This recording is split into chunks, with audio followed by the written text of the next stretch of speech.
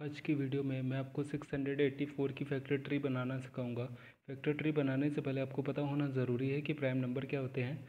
वह नंबर जो वन से डिवाइड हो या फिर खुद अपने आप से डिवाइड हो, क्या कहलाते हैं? प्राइम नंबर्स कहलाते हैं एग्जांपल के लिए।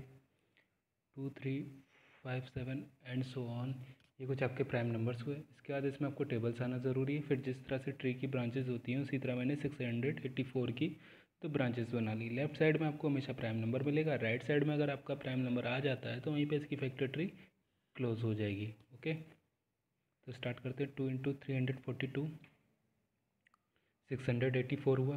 राइट साइड में अभी आपका प्राइम नंबर नहीं आया तो फैक्टर ट्री और आगे बढ़ेगी। Two hundred two into one seventy one three hundred forty two हुआ। राइट साइड में अभी भी प्राइम नंबर नहीं आया तो फैक्टर ट्री और आगे बढ़ेगी। Three into fifty seven one seventy one हुआ। राइट साइड में फिफ्टी सेवन है, जो कि एक प्राइम नंबर नहीं है तो फैक्टर ट्री और आगे बढ़ेगी three into nineteen fifty seven हुआ। राइट साइड में नाइनटीन है, जो कि एक प्राइम नंबर है। इसका मतलब है कि इसकी फैक्टर ट्री यहीं पे क्लोज हो गई। अब आपको चेक करना है कि आपकी फैक्टर ट्री सही है, गलत इसके लिए आपको लेफ़्ट टू राइट चलना होगा।